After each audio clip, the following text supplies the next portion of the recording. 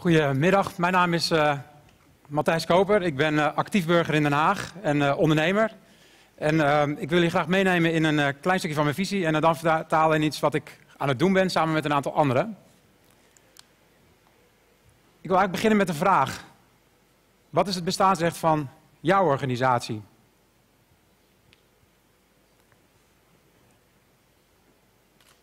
Ik zie dat steeds vaker organisaties eigenlijk geen antwoord hebben op die vraag. Of eigenlijk nog steeds niet.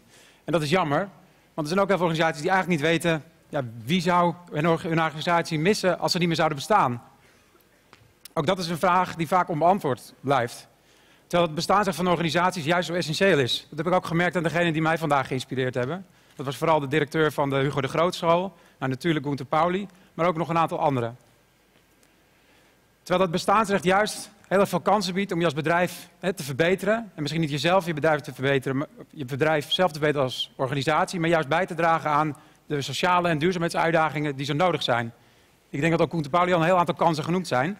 Maar er zijn er nog veel meer die passen bij jouw organisatie en wat je altijd hebt gedaan.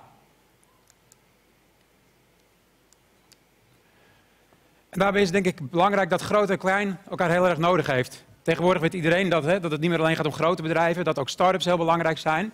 Maar ik denk dat er nog heel veel te winnen valt. Ook start-ups is niet het, het ideaalbeeld en grote bedrijven zijn ook niet alles. Maar samen kan je heel veel met elkaar bereiken. Dat kan leiden tot een nieuwe groei, we kunnen heel veel sociale waarde creëren en ook die economische waarde volgt dan wel. Daarbij is het belangrijk om te kijken wat je in eigen huis hebt. Er zijn echt heel veel grote organisaties die misschien zichzelf traag vinden, te weinig innovatief. Maar die hebben misschien wel heel veel pareltjes in huis, hè, bij intrapreneurs. Probeer die kansen ook te spotten en te gebruiken om die te aan je buitenwereld. Daarbij is het belangrijk dat je weet welke thema's voor jou als organisatie relevant zijn. Het kan gaan om hè, technologische ontwikkelingen, maar vooral ook die sociale en duurzaamheidsuitdagingen die ik eerder ook al noemde. Als je die scherp hebt, en misschien zijn het er maar drie, heb je een kompas voor de toekomst en kan je jezelf verbeteren en zorgen dat je er over een aantal jaar nog steeds toe doet. Dat is de manier waarop we denk ik heel veel bloemen kunnen laten bloeien. En uh, we ook een heleboel diversiteit kunnen krijgen die er nu soms niet meer is.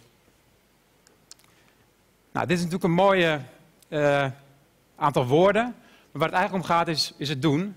En wij gaan vanuit Den Haag samen met een aantal ondernemers en investeerders starten met de World Startup Factory en de Connectivity Accelerator. Waarbij we eigenlijk de kansen die uh, technologie op het gebied van smart cities, connectivity, de oude telecom, maar ook Internet of Things te bieden heeft, combineren met de maatschappelijke en duurzaamheidsuitdagingen van vandaag. Ik ben ervan overtuigd dat het heel veel kansen biedt voor bedrijven en dat we nieuwe bedrijven kunnen bouwen die toekomstbestendig zijn en de wereld een stukje beter kunnen maken.